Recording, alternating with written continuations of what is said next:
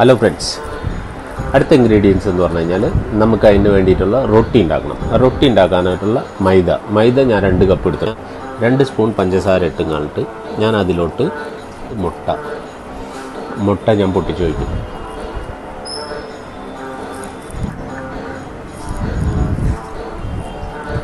ആവശ്യത്തിനുള്ള ഉപ്പ്.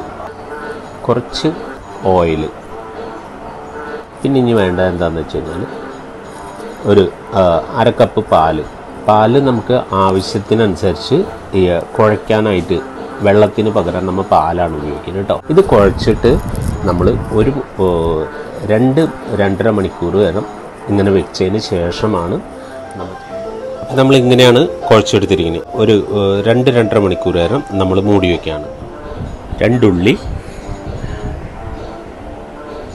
ഒരു സിംല മിർച്ചി സിംല മിർച്ചിനെ നമ്മൾ ഇതേപോലെ കട്ട് ചെയ്തിട്ടുണ്ട്.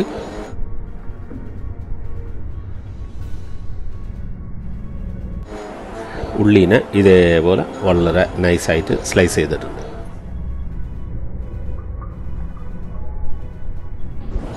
നമ്മൾ ആ വറുത്ത എണ്ണയുണ്ടല്ലോ അത് തന്നെയാണ് ഞാൻ വേറൊരു പാൻ വെച്ചിട്ട് അതിൽ ഒഴിച്ചിരിക്കുന്നത് കേട്ടോ.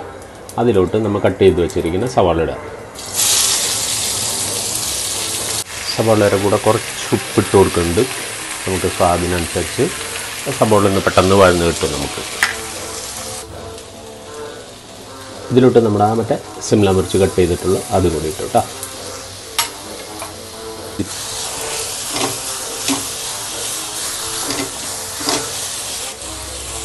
കുറച്ച് മഞ്ഞൾപ്പൊടി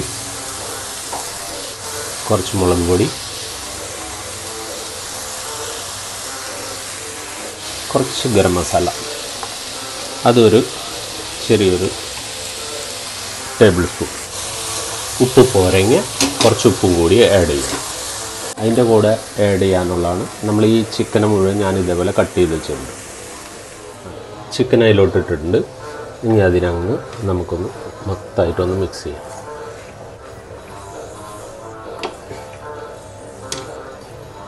അപ്പോൾ നമ്മുടെ ചിക്കൻ റോളിനുള്ള മസാല തയ്യാറായിട്ടുണ്ട്. ചപ്പാത്തി പോലെ പരത്ത പരത്തിയതിന് ശേഷം കുറച്ച് എണ്ണ ഒഴിക്കുക.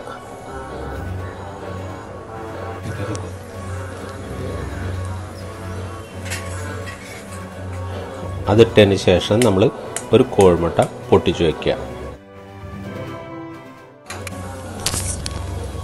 നമ്മൾ മുട്ട വെച്ചിട്ടുണ്ട്. അതിലോട്ട് ഒരു തരി ഉപ്പ് നമ്മളിടാം.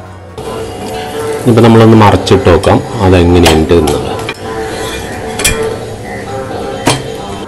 ഇനിയിപ്പോൾ ഞാൻ ഇതിലോട്ട് നമ്മുടെ ഫ്രൈ ചെയ്ത് വെച്ചിരിക്കുന്ന മസാല ഇടാണ് ആദ്യം. മസാല ഫില്ല് ചെയ്തു.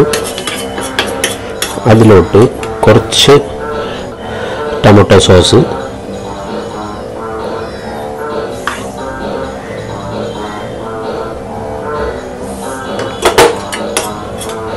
ചൈനീസിന്റെ കുറച്ച് ചില്ലി സോസ്.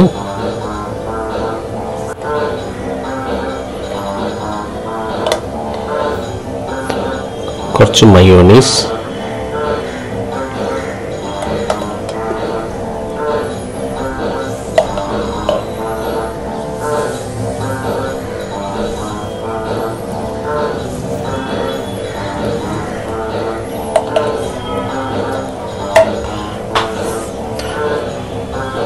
അതിന്റെ മേലെ കുറച്ച് കുരുമുളക് പൊടി.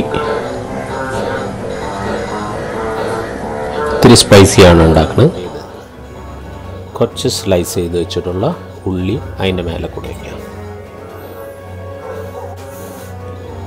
അപ്പം നമ്മുടെ റോൾ ഇപ്പോൾ റെഡി ആയിട്ടുണ്ട്.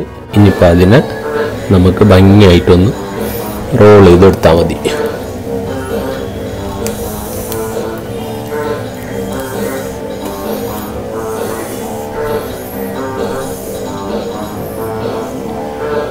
നമ്മുടെ ചിക്കൻ റോൾ റെഡി ആയിട്ടുണ്ട്.